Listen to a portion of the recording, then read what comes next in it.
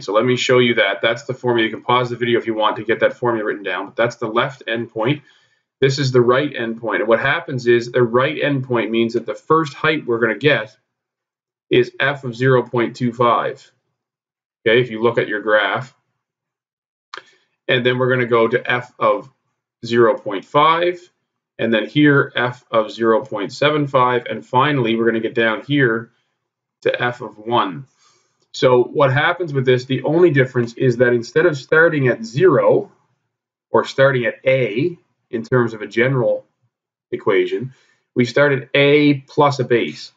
So 0 plus 0.25. We start here. But we go, instead of going to 1 minus b, so instead of going to here where we stop with the left ones, we actually go all the way to b. So it looks very similar in terms of its formula. It's just it starts at a plus the base and it ends at f of b. All right, so very similar, just a slightly different starting point and a slightly different ending point. And then finally, we have midpoint approximations, and midpoint approximations start in the middle. So what happens then is this becomes f of 0.25 plus 0 divided by 2. It's the midpoint. I apologize for my penmanship there, but it's the midpoint between 0.25, which is here, and 0. And that so that gives you f of 0.125. And we start there. So we start in the middle, and then we go by a base. So this guy is f of 0.325, sorry, 375, because we're adding, that into a 7, because we're adding 0.25, and then we're going to add 0.25 again all the way down. All right, so if we add 0.25 to that, we get 0.625, and then if we add 0.25 to that, we get 0.875. All right, so it's the midpoint between the values we used before. We use 0 and then we use 0.25. You recall from the previous examples. We're using the middle of that. We use 0.25 and then 0.5, right? That was 0.5. So we're using the middle of that. Then that was 0.75. So we're using the middle between 0.75 and 0.5, which is 0.625. And finally, we're using the middle between f of 1 and f of 0.75, which is 0.875. So it starts at the middle of the first, the left endpoint, and the second rectangle. So A plus the base is the midpoint of that. And it ends at the left endpoint minus, or the right endpoint, sorry, minus a base plus the right endpoint divided by 2. Okay, and it looks like this. Now, this is a fairly complicated formula, and it doesn't really matter too much that you understand the general form of the equation as long as you understand where to get the first point. So we did the general form, but here's an example of doing it in practice, and I think it will be helpful to you. If you look at x squared, we want to go from 0 to, we want to use four rectangles.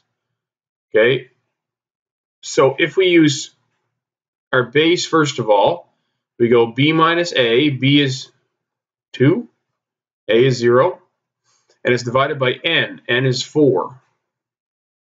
So we get 1 half. Now, with our methods, what we're going to do is the base is 0.5, okay?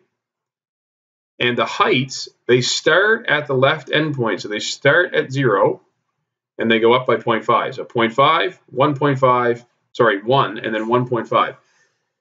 That's the left endpoint.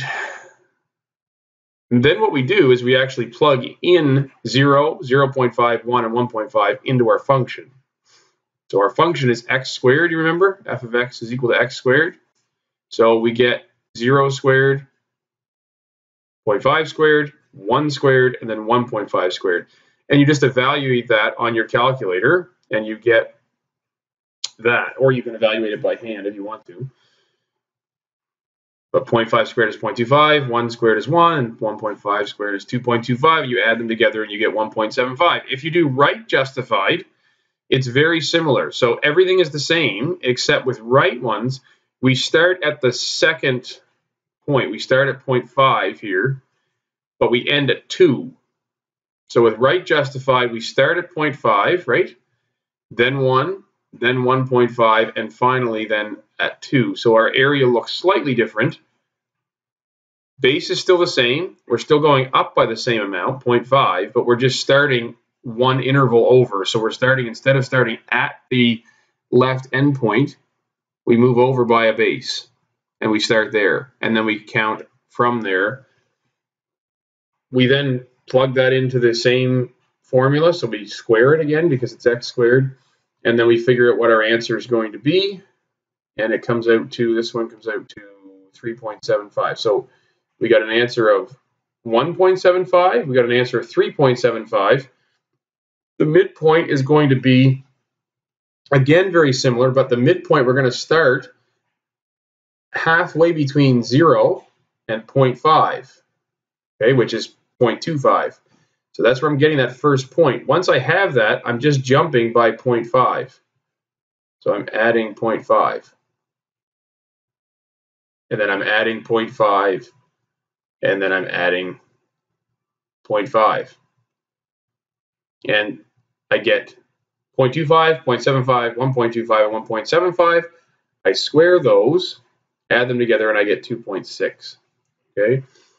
And the actual answer is 2.6 repeating, so that's a pretty close approximation. All right, we're going to stop there, and we'll pick it up after in the next video.